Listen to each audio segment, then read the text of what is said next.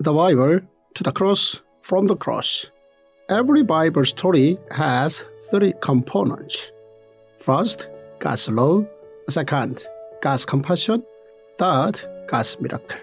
Opening your Bible opens miracles. The Bible as one story is wholly enough in our lives. Day 66, Deuteronomy 22 to 26. Onesimus is a city of refuge.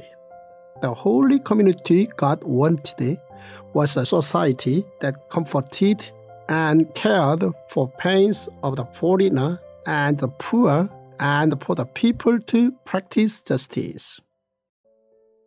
First point a citizen in a kingdom of priests had to help a neighbor's ox when they saw it straying. To the Manna generation, Moses told them to respect and look after their neighbors' possessions. He said, If you see your fellow Israelites' ox or sheep straying, do not ignore it, but be sure to take it back to its owner. If they do not live near you, or if you do not know who owns it, take it home with you and keep it until they come looking for it. Then give it back. Do the same if you find their donkey or clock or anything else they have lost. Do not ignore it. If you see a fellow Israelite's donkey or ox fallen on the road, do not ignore it.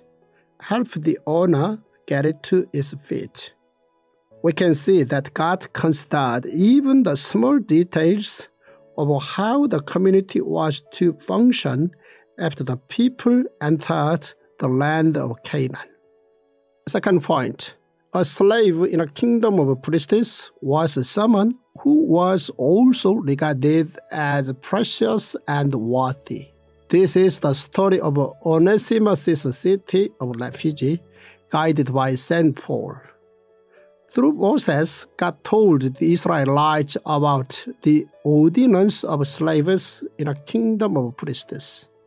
If a slave has taken refuge with you, do not hand them over to their master.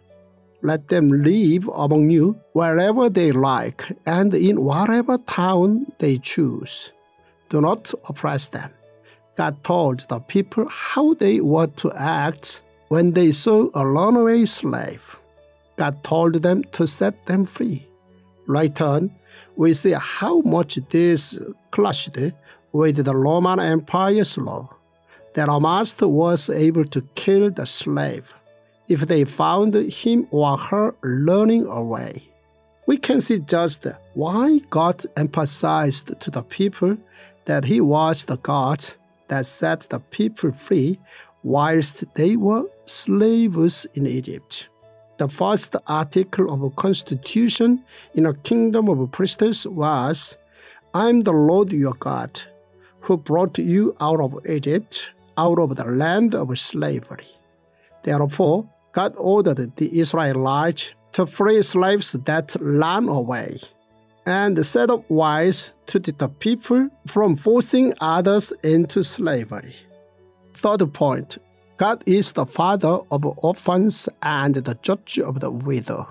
God, through Moses, guided on how the Israelites were to live as a holy nation in a kingdom of priests. The first was for them to not abuse their workers.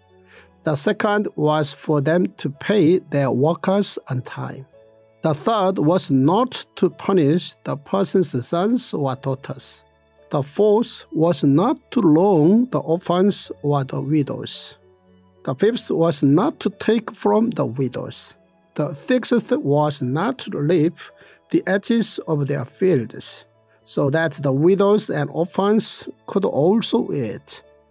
God emphasized that the Israelites were not to forget that they were once slaves in Egypt. Thus, they had to take extra care in protecting the weak in society. God also told them not to charge extra on the clothes for the poor as they needed the expenses to live. Fourth point Sloshing was to be done 40 times, and in most cases, it had to be under 40 times. In a kingdom of priests, the judge was able to make the order for the sinner to get slashed up to 40 times. It was important for the person being punished not to feel too abused. And it was against the law to slash more than 40 times. It was for this reason that St. Paul was slashed 39 times by the Jews, albeit several times. The Roman Empire's punishment, on the other hand, was much more severe. It was aimed at humiliating and then killing the sinner. The tool that the Roman Empire used for slashing had pieces of steel or bone stuck to it, which caused severe bleeding and scarring. It even made the eyeballs pop out from the pain. Jesus, before taking the cross, was slashed with such tools made by the Roman Empire. Fifth point if the Israel nation kept the laws of the kingdom of priests, God promised to bless all nations through them. The conclusion for Moses' second lecture was the following The Lord your God commands you this day to follow these decrees and laws. Carefully observe them with all your heart and with all your soul. You have declared this day that the Lord is your God, and that you will walk in obedience to him, that you will keep his decrees, commands, and laws, that you will listen to him. And the Lord has declared this day that you are his people his treasured possession as he promised, and that you are to keep all his commands. He has declared that he will send you in praise, fame, and honor, high above all the nations he has made, and that you will be a people holy to the Lord your God as he promised.